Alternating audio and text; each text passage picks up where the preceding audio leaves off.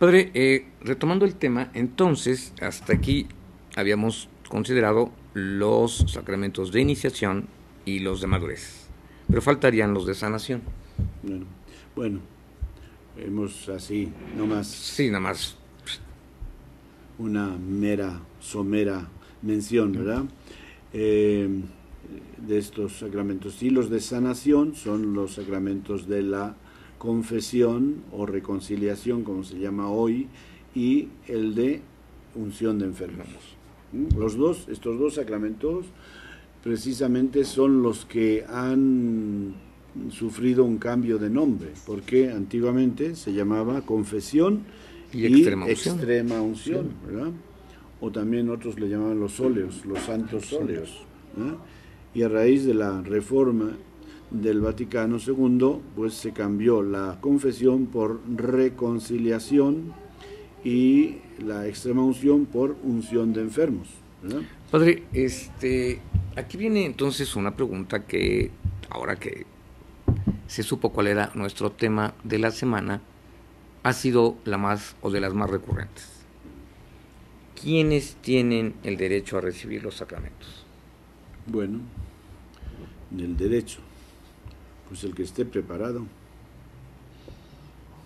Eh, un recién nacido no va a estar preparado, eso ya démoslo por hecho. Bueno, esa es una idea, una idea bastante equivocada de mucha gente. ¿Por qué? Pues porque no, es como que me dijeras que para que un niño sea eh, registrado en, como mexicano, para levantar el registro civil de un niño, tenga que crecer para decidir si quiere ser mexicano, indonesio o chino. Así es, o sea, no tiene una conciencia. Entonces, ¿quiénes tienen, o sea, quiénes son los que van a ejercer este derecho y quiénes tienen el ese derecho? lo ejercen sus papás y esos, los papás cuanto antes lo registran en el registro civil de la ciudad o del lugar donde viven para que goce de todos los derechos de un ciudadano eh, acordes con su edad. Entonces, eh, cuando el niño, eh, cuando los niños hoy día ya a los dos años e incluso antes, tenemos ya guarderías y kinders para todas las edades, ya desde el recién nacidos, a los 40 días de nacer y los niños comienzan a aprender cosas, ¿verdad? Eh, normalmente yo no conozco, no sé si tú conoces alguna familia que espera a que el niño crezca para decirle, ¿quieres ir a la escuela? ¿Quieres ir al colegio? ¿Quieres ir al kinder? No, sería aberrante, ¿no? Aberrante. Bueno, y entonces si un padre y madre de familia no le pide, no le consulta al hijo para preguntarle si quiere ser mexicano, si quiere registrarse en México o en Indonesia. Eh, tampoco le pregunta si quiere ir al colegio o al kinder, ¿por qué le tiene que preguntar si se quiere bautizar?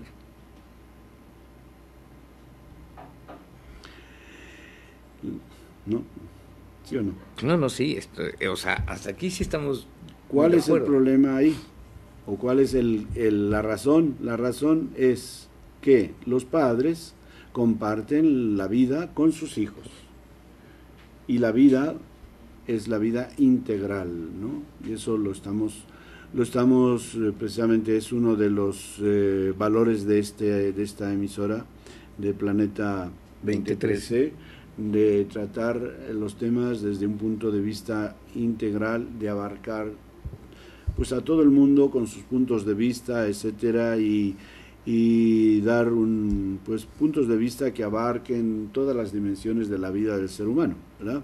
Entonces, la fe, los valores espirituales, eh, creemos, creemos, yo estoy, o sea, eh, física, metafísica, moral, espiritualmente, en todos las dimensiones, seguro de que los valores espirituales están en la mera esencia de la vida del ser humano, que el ser humano ha nacido con una dimensión trascendental o de, trascendencia, de que el ser humano no es un animal que vive, come y se muere y sin más.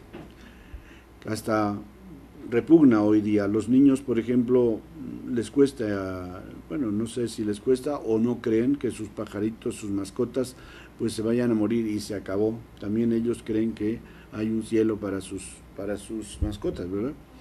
Entonces, esa idea, ¿quién, pero estamos locos o quién se la ha metido al ser humano esa idea en, su corazón, el pensar, el creer es la que hay una dimensión trascendente? De la trascendencia que tiene el ser humano desde que nace, por el mero hecho de serlo. ¿Será estar equivocado? No, claro que no. La, Metafísicamente, existencialmente. Si es absolutamente innato e inherente como tal no puede estar equivocado. Eso Por eso, pues la dimensión espiritual está suficientemente probado que está en el corazón del ser humano, en todos los grupos humanos. Eh, existe esa dimensión espiritual. No hay pueblo, no hay cultura que no tenga una dimensión religiosa. Así es. Entonces, entonces qué? Pues que le, si yo si yo soy feliz, si para mí ser cristiano es lo máximo en mi vida, y me da, me, marca un camino, me enseña el sentido de la vida, me da una oportunidad para encontrar la felicidad y encontrar el sentido pleno de mi vida aquí y más allá. ¿Cómo no se lo voy a compartir a mis hijos? Totalmente de acuerdo. Siendo padre. Ahora, padre, todo derecho, todo derecho implica también pues una obligación. Cuando el ser humano ejerce el derecho del el bautizo para su hijo o hija, este, automáticamente también se está obligando a darle los elementos de información, educación, etcétera, para que comprenda en el mundo o que comprenda el mundo desde ese cristal cristiano. ese es el punto, porque es que mira, en la, en la vida, en nuestra sociedad hay, hay muchas cosas que se cuestionan, ¿verdad? Pero no se cuestionan eh, con lógica o con, con coherencia. Eh, se muchas se cuestionan desde la superficie, con superficialidad, sin entrar en la esencia del, del asunto. Entonces el derecho, el decir, ¿por qué mis padres me bautizaron a mí sin dejar que yo eligiera? Esa pregunta eh, no es la correcta. La pregunta correcta es, ¿por qué me bautizaron y no me educaron? En la fe eso es muy grave. en la que me bautizaron. Esa es, o sea, la pregunta completa es ¿por qué me bautizaron y no me educaron en lo que ese bautismo conllevaba o conlleva? Ahora, padre, también aquí hay que entrar en un concepto que es muy especial. No existe, no existe así, una sola palabra de Jesús de Nazaret que no sea positiva, no existe. Mm. Educar desde el principio a un ser humano bajo estos principios, valores y enseñanzas, pues de ninguna manera puede tener un rango que no sea bueno. Precisamente en el Evangelio de San Mateo, que lo vamos a leer este domingo, eh, aparece pues como cuando Jesús eh, sube al cielo, les dice, vayan y bauticen a, todas las naciones en el nombre del Padre, del Hijo y del Espíritu Santo, enseñándoles a practicar lo que yo les he enseñado. O sea, no dice bautícenlos y cas, no, bautícenlos y enséñenles. O sea, el bautismo va incluyendo una educación, una catequesis. Entonces, ciertamente, y eso es lo que lo, el problema que tenemos y por lo cual cuestionamos hoy a muchos padres de familia que vienen a bautizar a sus niños, resulta que ellos no están casados por la iglesia, o no están confirmados, o no han recibido la comunión y quieren bautizar a sus niños. Eso es incoherente. Ahí está la incoherencia. Que ellos no vivan la vida cristiana y quieran bautizar a su niño. ¿Para qué? ¿Qué sentido tiene ahí el bautismo? Entonces, de hecho, hay, hay lugares ya, algunos países donde a, esa, a esos papás que no viven su vida de cristianos, y que no reciben o no viven los sacramentos, no se les concede el bautizar a sus hijos.